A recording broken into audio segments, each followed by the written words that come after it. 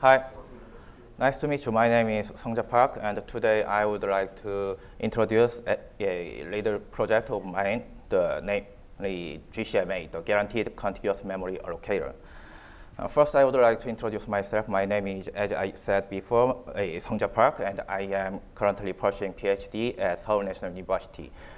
And I am interested in memory management and parallel programming for OS kernels. So I am a graduate student rather than an expertized engineer. So maybe my present would be not so good, but please keep in mind that. Uh, so first, I would like to say about the requirements of the contiguous memory allocation. Uh, because we uh, already live in the world of the virtualized memory systems, uh, someone who first started to becoming a kernel newbie programmer would wonder why the contiguous physically contiguous memory allocation is necessary. Because the, there is the memory management unit is resides between the CPU and the physical memory, and because it can translate the virtual address into the physical address, we can use the virtual memory system, which is mapping the any virtual address space to the any physical memory space. So in this case, we don't need uh, contiguous memory allocation.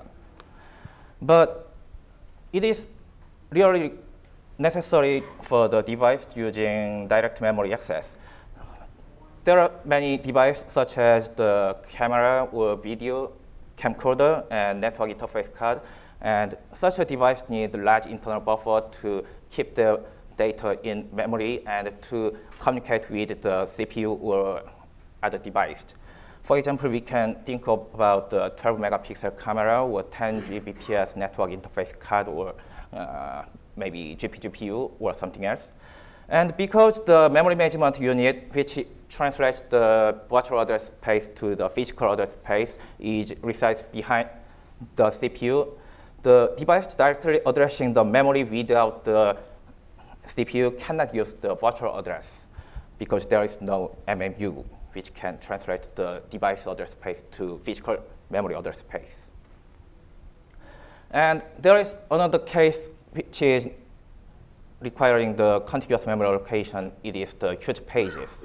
A system can have multiple size of pages, usually 4 kilobytes, which is called regular pages, and 2 megabytes, which is called huge pages. Also, there are many systems using another size of huge pages, for example, the x86 can have one gigabyte huge page, which is called gigantic pages. And the use of the huge pages can improve system performance by reducing TLB miss, which in case the TLB miss occurs, it requires the page table walk, which is very, very expensive. So, and the huge page importance of the huge pages is growing for now because the modern workloads, including big data and cloud and machine learning, uh, memory intensive, intensive, as the name of the big data says. So the systems equipping the terabytes of the RAM are not real now, and especially because it is the era of the co cloud computing and because almost every computing system is running on the virtualized system. Uh, the importance of huge page is even growing because in case of the virtualization, if the TLB miss occurs, the cost of the page table walk would be double because it should work on the uh, guest and then host. So However, the 2 megabyte huge page is just uh, 512 physically contiguous regular pages. So we need contiguous memory allocation in this case either. And of course, there are many existing solutions, but the existing solutions all have some limitations. First of all, there are, there is, there are some hardware solutions. The idea behind the hardware solution is very simple. It, it it just adds some MMU-like additional hardware for device. In short, there are some devices such as IOMMU and scatter-gather DMA. IOMMU works as the MMU for device, And the scatter-gather DMA allow the device to scatter and gather data to and from the memory.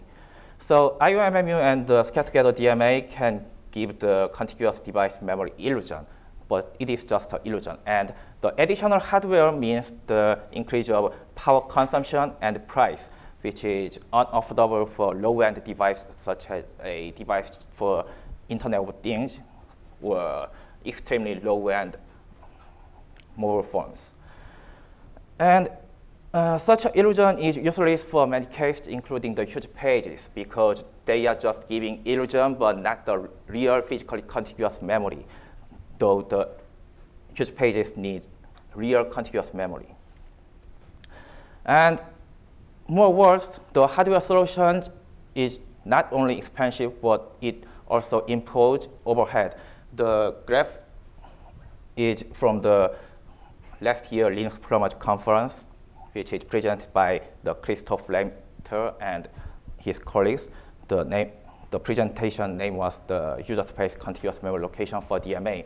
This shows the RDMA read performance with and without the contiguous with contiguous pages and the one which is using the scatter-gather DMA. And it clearly shows the overhead.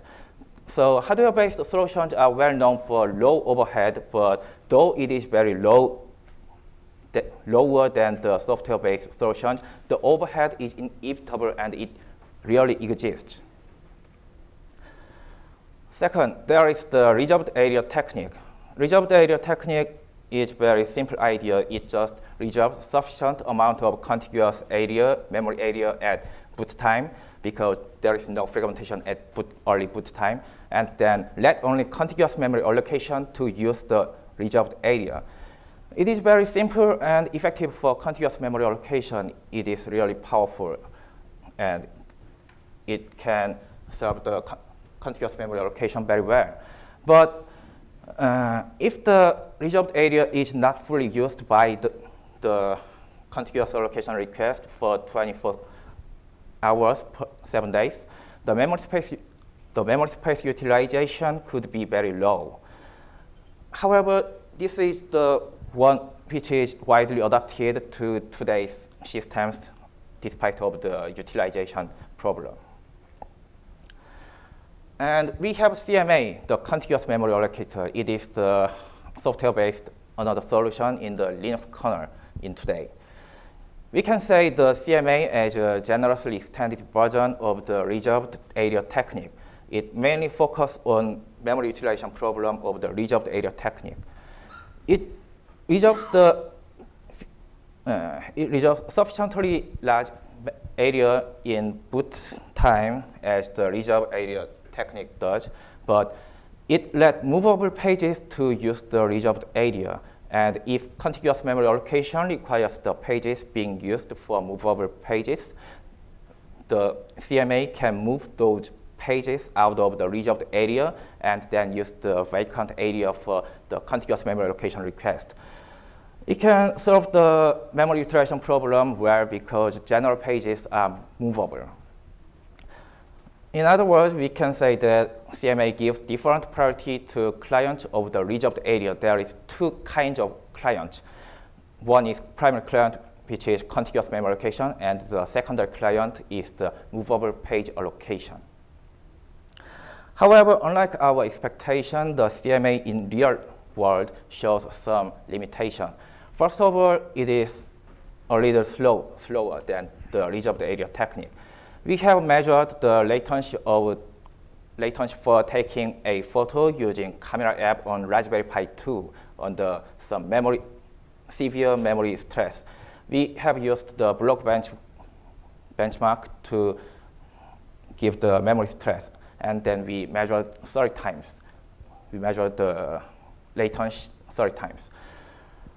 The result is as you show the x-axis shows the latency and the y-axis shows the cumulative probability of the 30 measurement. So the worst case latency for reserved area technique was just 1.6 seconds. But meanwhile, the worst case latency with CMA was even 9.8 seconds. We can say that it is really unacceptable. And the real reason of the slow latency of the camera application was the latency of the CMA. We have measured the latency of the continuous memory allocation using the CMA under the situation we have seen. And it shows that the worst case latency of the continuous memory location using CMA was about 10 seconds. So it's clear that latency of the camera application was due to the CMA. So why is it so slow?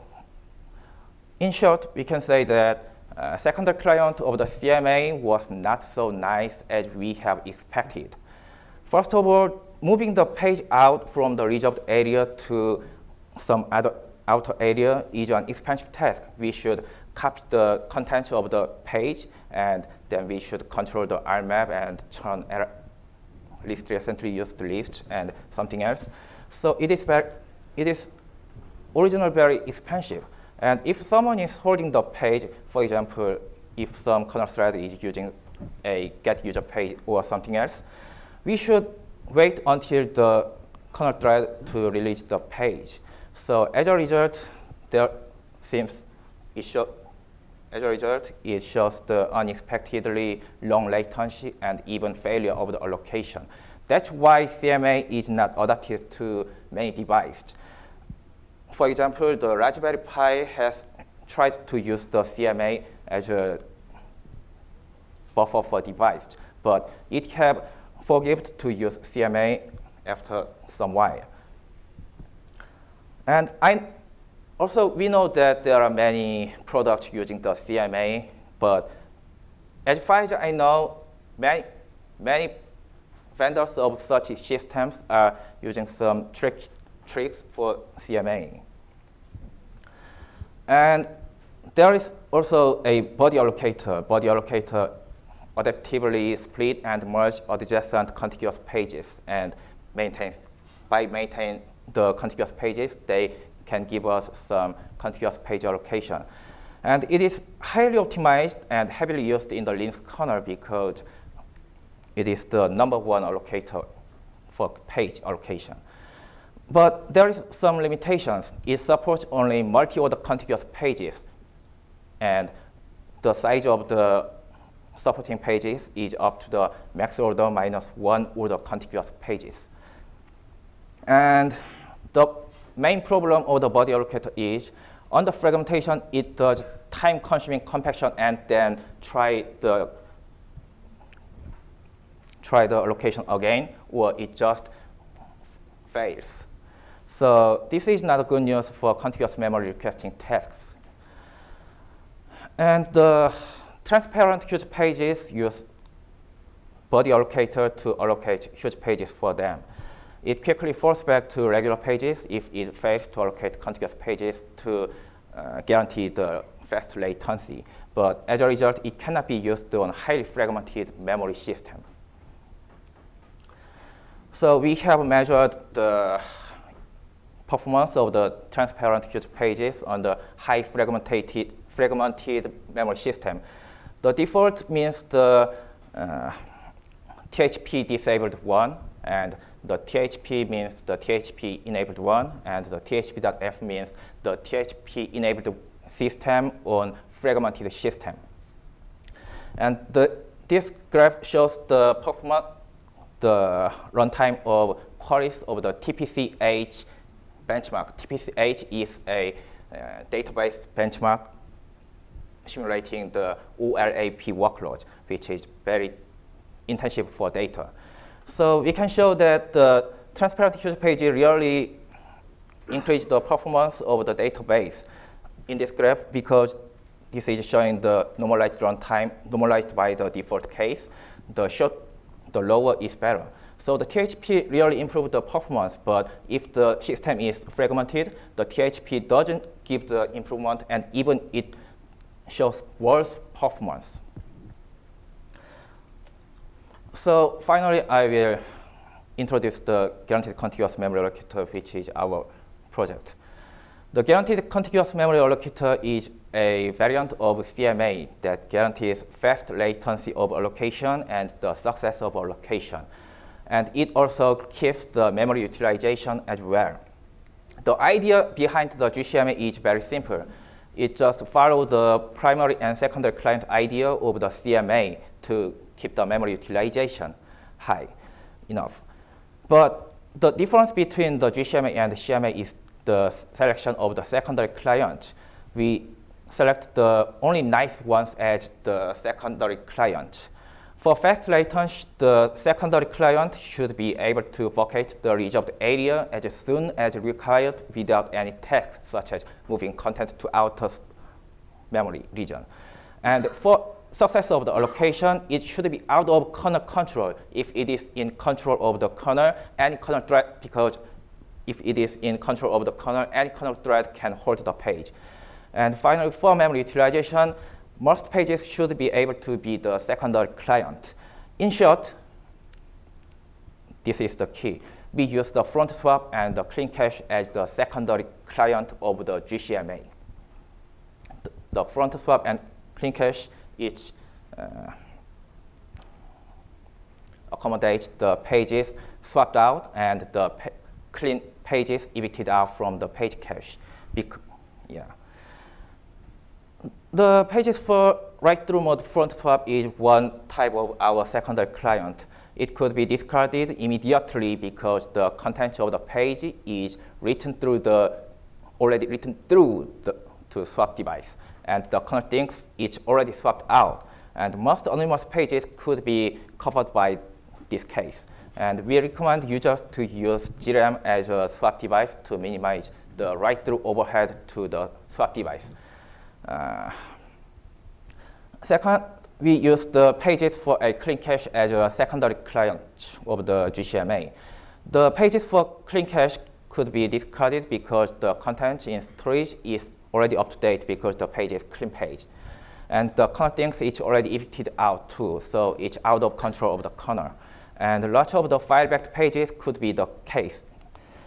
And we have started the project with this assumption only, but we have found that there is some additional good point. First, the pages we are using as a secondary client of the GCMA are already expected to not be accessed again soon by the page reclaiming algorithm of the Linux kernel. So discarding the secondary client pages would not affect the system performance much because it, the pages are already judged as unnecessary. And secondary, secondary uh, the use the allocation for the secondary client occurs with only severe workload. I, it means if there is no memory pressure, there will be no allocation for the secondary client. So in peaceful case, in many cases, there will be no overhead at all. So the workflow of the GCMA is very simple. We reserve the memory area in early boot time, and if a page is swapped out or if it is from the page cache, keep the content of the page in the reserved area. And if the system requires the content of the page again, then give it back from the reserved reserved area. And if a contiguous memory allocation requires area being used by those pages, we just discard those pages and use the area for contiguous memory allocation. If the system requires the page that has been already discarded for the contiguous allocation, then we just say it is discarded, and then the system can find the content of the page from the swap device or, or the uh, storage, because the content of the pages are already written through the swap device or is already up to date in the storage. So the architecture of the GCMA is as shown below. We, the characteristic of the GCMA is one, one thing I would like to note is that we are reusing the interface of the CMA. Users of the GCMA can just turn every code using the CMA to GCMA by just turning on one configuration, or they can also use the CMA and GCMA selectively on single system. I mean, the CMA and GCMA can coexist on a single system. It means that we are not we are not trying to substitute the CMA. We also know that the GCMA idea has many limitations and CMA have many strong points. So we believe that the CMA and GCMA can coexist and can help each other.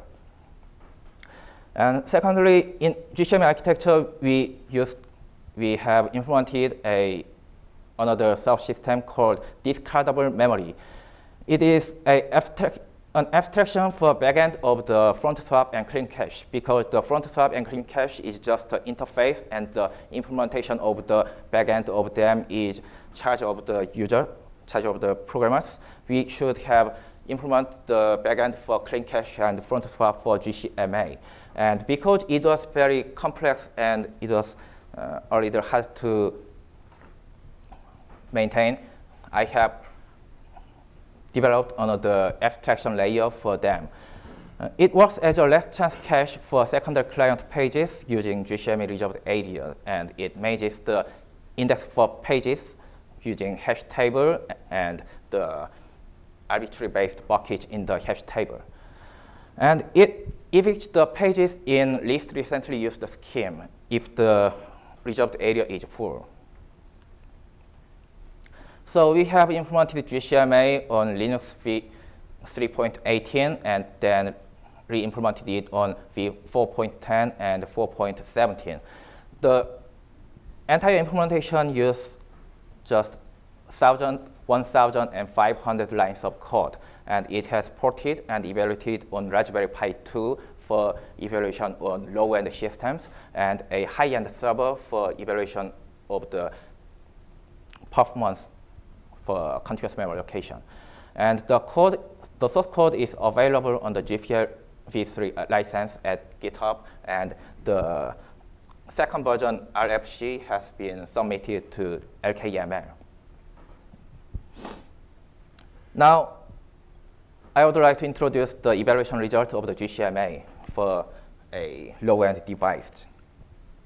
For experimental evaluation, we have set of some device. We have used the Raspberry Pi 2, which utilizing the ARM Cortex-A7 and 1 gigabyte LPDDR2 SDRAM and class 10 SanDisk 16 gigabyte micro SD card. And we have used three configurations to compare the baseline and the CMA-based system and the GCMA-based system. We have used Raspberry Pi customized Linux kernel version 3.18.11, and we have configured 100 megabyte swap device and uh, 256 megabyte reserved area for baseline, and the 256 megabyte CMA area for CMA case, and 256 megabyte GCMA area, and 100 megabyte zram-based swap for GCMA. And we have used three workloads. For contiguous memory allocation, we have just uh, programmed a simple kernel driver which continuously uh, allocates contiguous memory, and we have used Blogbench to uh, simulate the realistic file system workload which can incur the memory pressure. And finally, we uh, we have used the camera shot, which is repeatedly taking the picture using the Raspberry Pi 2 camera module with 10 second interval between each taking shot. Uh, first, we have measured the basic continuous memory allocation latency without the background workload. In this case, we have just measured the latency of the contiguous memory allocation for various number of page, number page, number contiguous pages. And the result is as shown below. The black line shows the latency of the GCMA, while the gray line shows the uh, latency of the CMA. The GCMA shows 14.89 times to 100 29 times faster latency compared to CMA. And the CMA has even failed once for uh, 32,768 contiguous pages allocation, even though there was no background task. And we have measured the latency for only 1,024 contiguous pages without the background workload. It still shows that the GCMA latency is much shorter than that of the CMA. And it also shows that the latency of the CMA is much predictable than the, that of the CMA. And we have also measured the latency for taking photo of the camera app of the Raspberry Pi. The camera app is the official application, the built-in application of the Raspberry Pi 2. And we have used the background task Blogbench to simulate the memory pressure of the realistic workload. And in, the, it, in this result, we have shown that the uh, GCMA keeps latency the latency as fast as the reserved area technique configured system, while the GCMA shows more than five second latency for taking only a picture. And finally, because the GCMA is utilizing the secondary client as a uh, frontswap and cleancache, it should have more overhead to produce the uh, reclaiming, reclaiming task. So the GCMA could harm the performance of the system. So we have uh, evaluated the performance of the Blogbench on CMA-based and GCMA-based system. Uh, surprisingly, the GCMA performance GCMA-based systems performance was even better than the, that of the CMA-based system. And these two bar graphs shows the cost of the Blogbench when they're over the background workload, which is contiguously uh, trying to taking a photo. And we can show that the taking photo can uh, clearly reduce the performance of the system for CMA. However, in case of GCMA, the background workload of the taking photo didn't reduce the system performance so much, though the difference is just not so big. And finally, I would, this is the evaluation result of the GCMA for THP. Uh, to, as I have said before, the huge pages are also need contiguous memory allocation, and the GCMA can help the transparent huge page allocation. So we have implemented transparent huge page using the GCMA. So for this experimental setup, we have used the Intel Xeon E7 8870V3 CPU, and the system has the 1024 L2 TLB entries, and it utilizes uh, 600 gigabyte DDR4 memory and 500 gigabyte Intel SSD, and the baseline kernel is Linux v4.10. And we have uh, five four configurations. First, the no THP means the THP disabled system, and the THP.BD means the THP system using the buddy allocator as huge page allocation. So the THP.BD can be set as a baseline system, and the THP.CMA means the GCMA-based THP enabled.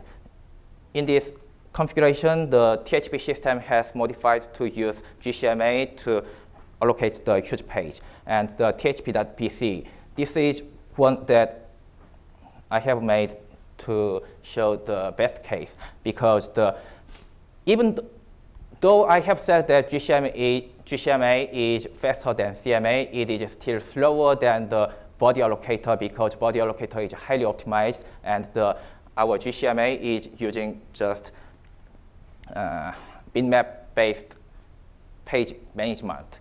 as the CMA does. So basic latency for allocation of the G GCMA was slower than the, that of the buddy allocator. So we have configured on the system that uses the buddy allocator as a huge page allocator for first time. And if the buddy allocator fails to allocate the contiguous memory area for a huge page because of the fragmentation, then we can fall back to the GCMA before fall back to the regular pages. And this, these four configuration have the have another counterparts that have that f suffix. It means the that f suffix means the same systems on the fragmented memory. And we have used two kind of workloads. We have used spec SPECCPU 2006, which, and because there are so many workloads, we have chosen only two workloads, which is widely known to be known to uh, memory memory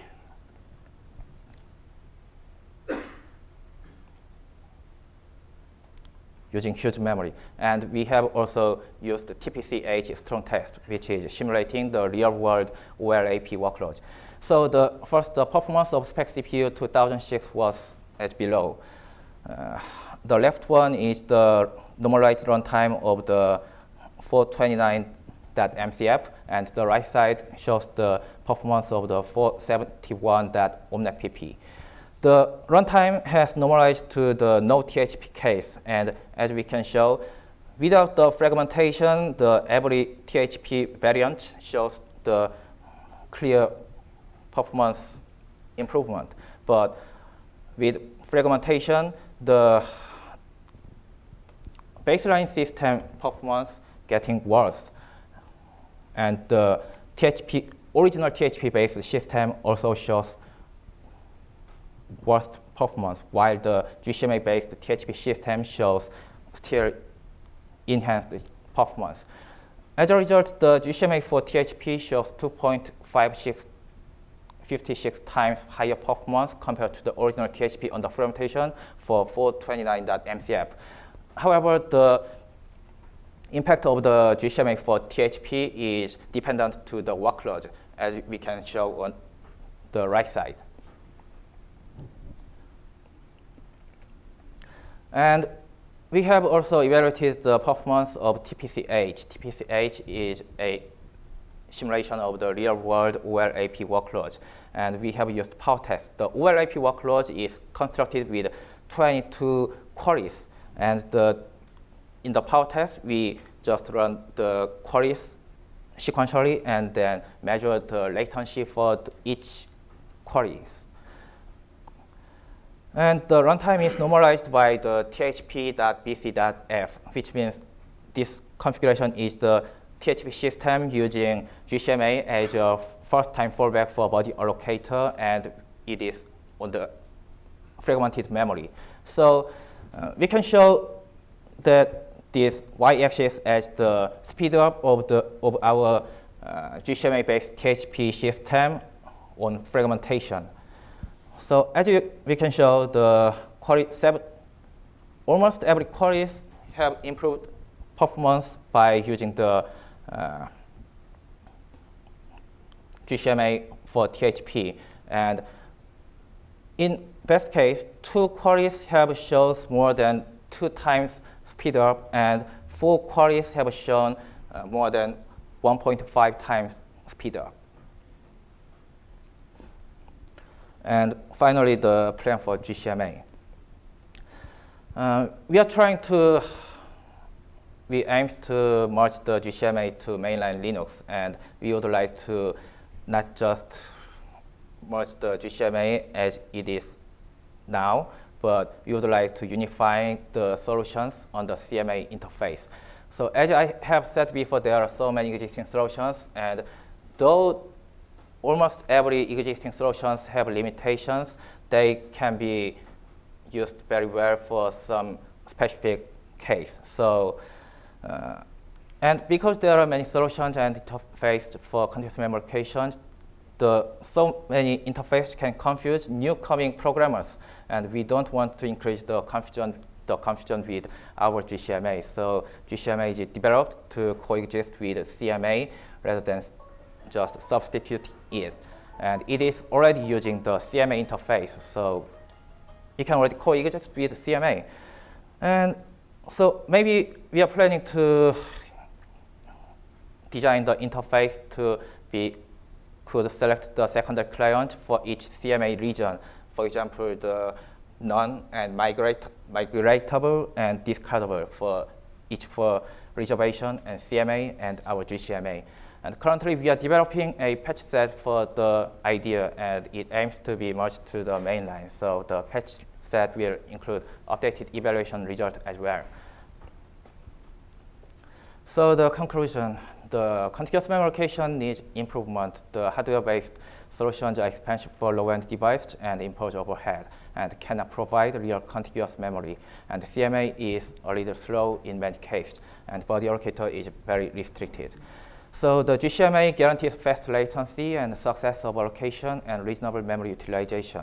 It achieves the goals by utilizing nice secondary clients, the pages for frontswap and the cleancache. Allocation latency of the GCMA is as fast as the reserved area technique, and GCMA can be used for THP allocation fallback. And it showed the 130 times and 10 times shorter latency for contiguous memory allocation and taking a photo compared to CMA-based systems respectively. And more than 50 50% and 100% performance improvement achieved for 7 over 24 and 3 over 24 realistic workloads.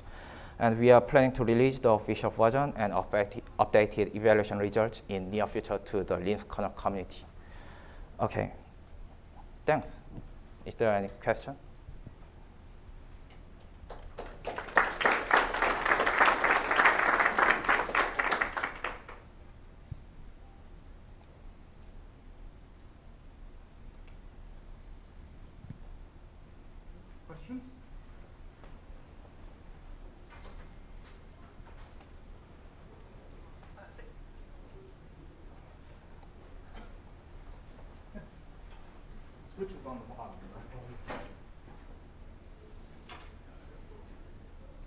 Okay? Okay. Uh, thanks for your talk. As someone who's worked with CMA before, this is definitely good work. Uh, a few years ago, uh, a colleague had tried something similar as uh, involving cleancache and noticed some degradation in file system benchmarks. Admittedly, that was many kernel versions ago on, on older kernels. I'm curious if you ran any file system benchmarks or storage benchmarks to see if there were any degrad degradation in throughput there. Uh, we have used only the Blogbench, which is known as the file system benchmark. And the result was, as I shown, it was not, bad, not bad, but I think we need some more severe case evaluation too, yeah. Though we have seen the good result, but I think there would be many corner cases, and if we use the more uh, hardcore workload, maybe we can show the Uh, limitation of the GCMA. And that's why we are not trying to substitute the CMA, and rather than we are trying to use coexist with the CMA, because in such a case, the CMA would work very well in such a case by the design and idea. I think so, yeah. It definitely uh, decreases the file benchmark because clean cache approach is not identified any working set memory so GCMA always should store any streaming I/O file back pages. So definitely it loses the performance. But recently, uh, MM page working set patch is applied by Johannes. So one of the idea is to filter out the not working set page to store clean back pages. So it will be improve a little bit it could be one of the ideas to improve file benchmark.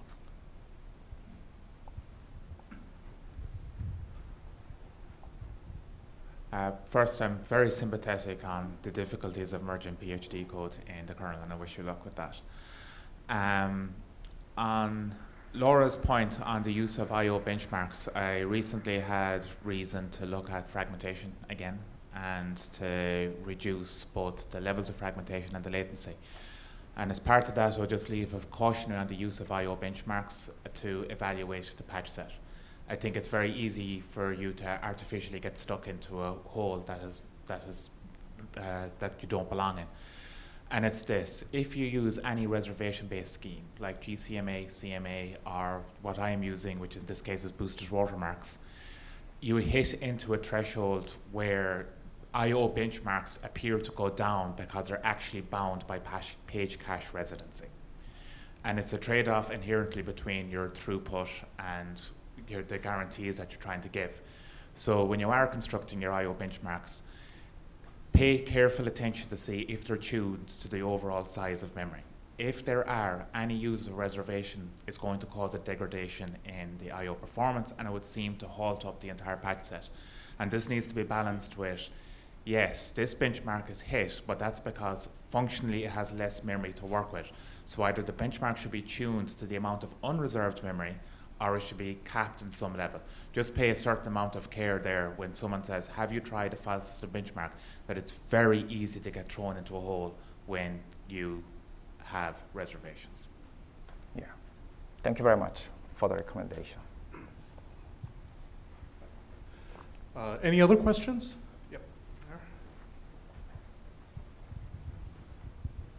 hi, so uh, I uh, checked the old submissions from three years ago, and I noticed that the largest uh, complaint was that the new code was quite large and introducing lots of new infrastructure, and it was viewed as if CMA could be just modified, it it would make much better code. So uh, in your current uh, attempts, do you think the new submission will will be with uh, this review incorporated, or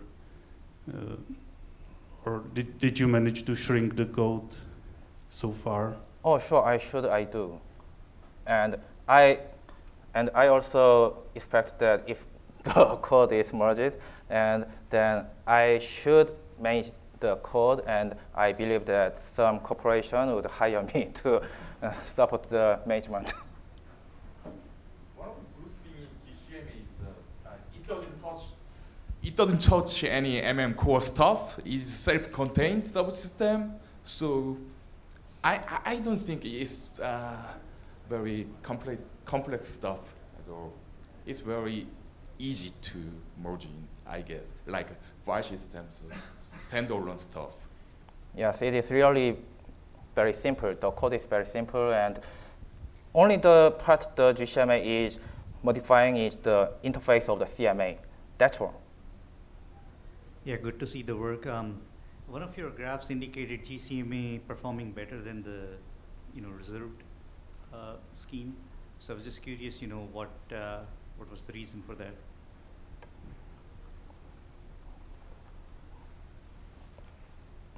Are you saying about this slide? Uh, no, I think the other, um, uh, just,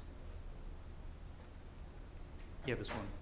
Yeah, there was the case that GCMA-based evaluation was better than even the baseline. Uh, I don't know how, I don't know why, but I think that it would be some, there was, I think there would be some error of the measurement, maybe. Um, so uh, kind of maybe more of a naive question, but um, I've done some work with CMA where I was seeing allocation failures where there's still apparently free memory, so it seemed to be a fragmentation issue. Did you, in, in your work, do you have any tools or things that you were using to do the analysis on CMA for why these failures were occurring and, and anything that was useful there? Uh, excuse me? Did you have any tools or anything you were using while you were doing analysis on CMA for you know why things were failing or anything that was helpful to see kind of the levels of fragmentation or anything like that? Uh, no. Unfortunately. I think we have time I for one more question. Uh, this is, unfortunately, this is not a question, but in respect to John's uh, question, uh, while I don't have personal experience on CMA, the limiting factors on latency of allocation of THP came down. It's the rare case because the page was pinned for a long period of time. But fundamentally, it was at the time that you start hitting into latency issues during allocation, the system is already low on memory, in which case compaction is very likely to give up early on the grounds so it doesn't happen, uh, happen. Or that it ends into a reclaim cycle where it takes multiple attempts to allocate on that basis. Now, again, I've posted a series that mitigates this somewhat, but it's in dire need of review and further evaluation. But part of that was that it did reduce allocation latency down by 70 to 80 percent. Um, mostly by playing small tricks.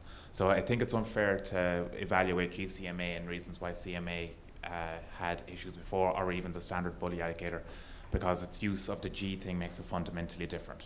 Um, so th- there, there are reasons why CMA failed in the past, and there's reasons why the buddy allocator fails. Uh, but they're discrete problems that would be fixed orthogonally to the GCMA work. All right. And Um, can, I, can I say just one more sentence? Uh, and I have forgot to say that the project has started with uh, Minchan Kim, who have helped my answer. Yes, that's it. All right, thank you very much.